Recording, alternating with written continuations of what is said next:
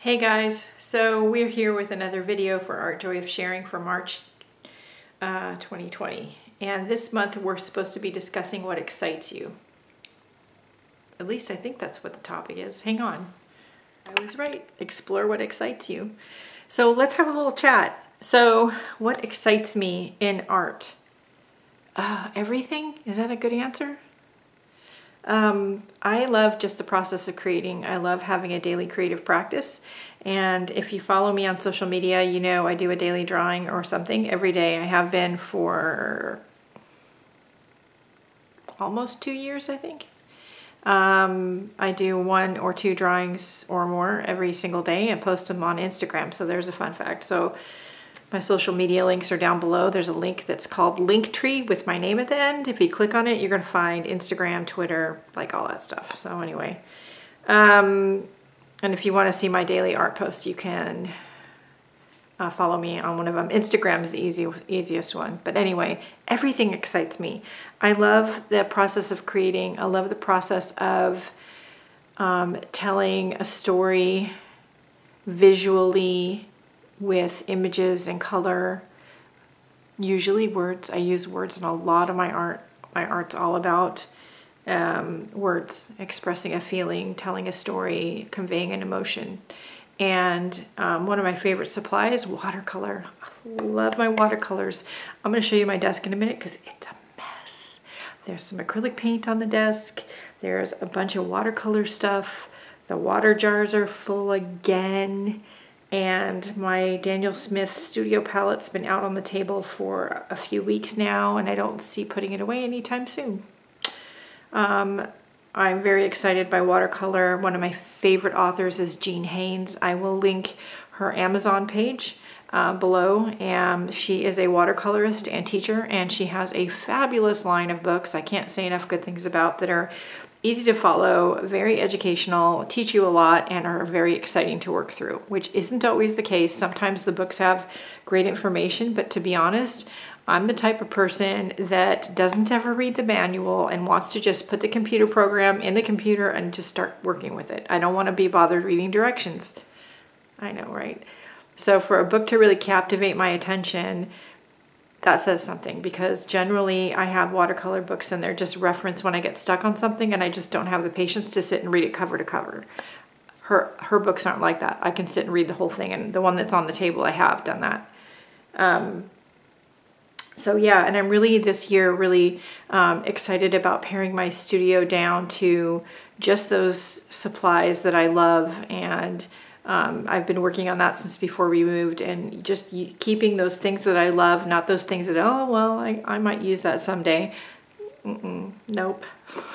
I need to just have the products and supplies in my studio that excite me, that make me walk, want to walk in and go, ooh, I want to make something with that. That excites me. And inspiring others to create art, to express themselves, and to um, play and have fun with creating, that also excites me. Uh, I'm so excited lately in the past few weeks. Even one of my aunts has started back to daily drawing, which she hasn't done since her kids, my cousins, were little. So I, I just, that kind of thing is what excites me. Let me show you my table. Hang on. Now, this is the state of my table. If this doesn't tell you that art excites me, I don't know what I don't know what to tell you. I have a little space in the middle that the camera can see, and the rest of it is just covered with stuff that I don't think is going to be put away anytime soon. Uh, the drying racks have, I just got done um, dyeing some paper, so they've got cookie sheets on it that are drying on a journal that I was working on, and you know, even um, my easel area and stuff because I've been working on the daily faces for the month of February.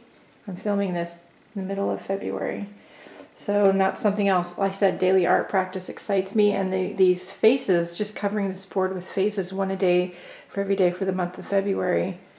Uh, today is February 19th, so that's where that's at right now.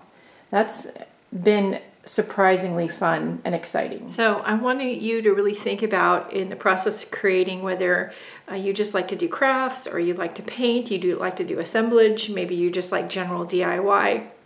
Whatever it is about that that you like doing? What do you really like doing?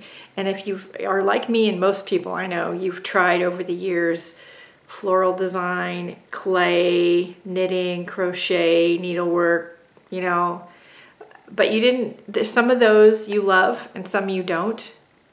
Maybe it's time for the don'ts to move on to somebody else. So, one of the things that excites me is taking the supplies that I don't love, that I don't love anymore, or that I'm not using, and I never, you know, I shouldn't have bought in the first place, and donating them to a local shelter um, for homeless families and um, they have an art class there, and so I've been taking over boxes of supplies to the shelter for them to use in class. And I think that's a wonderful way um, to lighten up my space and give them things that they can use. So just because you have it, just because you bought it, doesn't mean you need to keep it and hang on to it and have it clutter up your space and um, make it so that you don't want to walk into your creative room. Yeah, so anyway, think about it. What really excites you? I would love to hear. Leave something in the comments down below. Maybe we can give each other some ideas of um, different things to try or remind each other, oh, you know, I do like doing that too. Maybe I should, look, where's my stuff? Maybe we can remind each other that, yes? Um, for other ideas and videos, go look at Art Joy Sharing's Facebook page. I will leave their link in the description below. I will also leave a link to their YouTube channel. They have uh, weekly live broadcasts, which are a lot of fun. So, yes, art and telling a story and encouraging others to do the same. That excites me. Anyway, if you want to know more about that, follow my channel and there'll be more topics. Um, more videos coming up on this topic um, going forward and I hope that you follow along and if you have interesting new unique ways to tell your story artistically I sure would love to hear about them.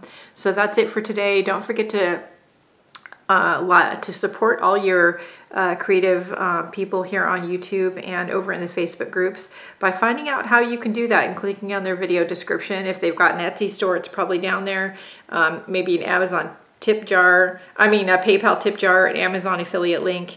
Um, maybe they've got Patreon or they've got the YouTube membership. Um, check it out. I have that. They probably have that. If they don't, you can always message them and ask.